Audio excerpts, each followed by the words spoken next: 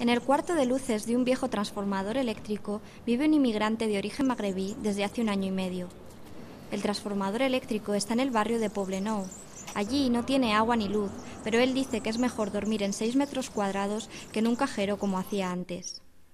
Maki dejó Marruecos hace 15 años en busca de una vida mejor. Ha recorrido toda España trabajando en la obra, pero desde hace años no encuentra nada.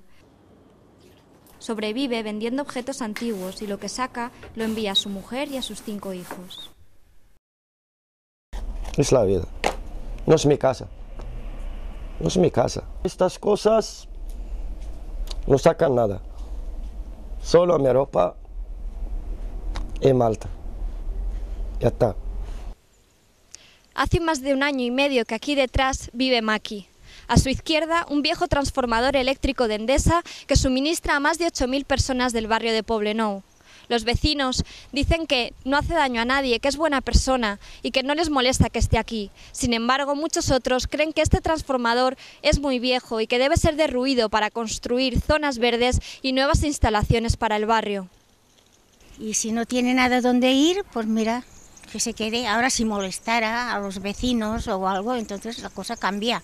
Mantiene limpio toda la zona, ha hecho jardincito ahí. No es justo que esta persona se aproveche de un local que no está en condiciones. Esto tiene que estar el ayuntamiento al orden del día de las cosas.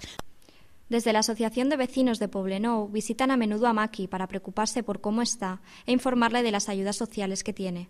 Sin embargo, no dejan de pedir una zona verde delante de, esta, de, este transformador tiene que ir a una escuela, un centro de barrio, que hay el compromiso que en dos años se va a construir, entonces es inevitable que la necesidad de la zona verde será muy importante para esta zona. ¿no? Endesa, la compañía propietaria del inmueble, ha denunciado a Maki por ocupación ilegal y está pendiente el juicio para proceder al desalojo. Evidentemente no es manera de vivir, eso es una propiedad de, Endesa, no es una propiedad del ayuntamiento. Esa propiedad eh, y esa ocupación por parte de, Endesa ha sido ya eh, denunciada al, juez.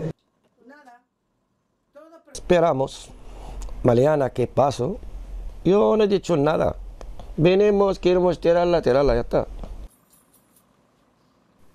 A pesar de que Maki sabe que en cualquier momento pueden desalojarle, mantiene una actitud positiva y no pierde la ilusión como la que tiene por el Barça.